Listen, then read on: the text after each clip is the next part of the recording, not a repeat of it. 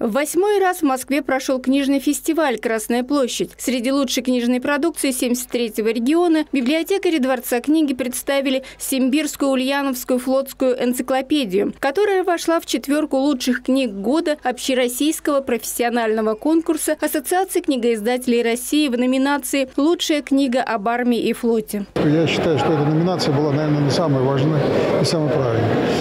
Если говорить немного о этой премии, то я, например, считаю, что эта премия такая самая народная и самая массовая.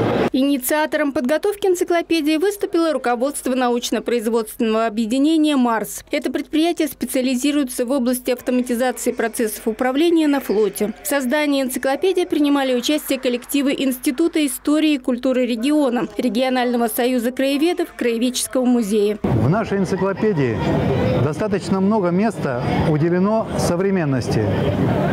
Связи Ульяновска и предприятия «Марс» с военно-морским флотом тем, которым он есть и является сейчас. Я надеюсь, что вот эти знания, это знакомство с этой связью, это поможет молодым людям э, несколько по-другому взглянуть на, возможно, выбор какой-то профессии. В целом в конкурсе «Лучшие книги 2021» участвовало около 520 российских изданий от более чем 120 издательств. В итоге в лонг-лист вошло 136 наименований книг, в том числе 55 региональных от 73 издательств из Москвы, Санкт-Петербурга и 30 региональных центров, в числе которых оказался и наш город, представивший на конкурс уникальное издание «Симбирскую Ульяновскую флотскую энциклопедию». Ирина Антонова, Улправда ТВ.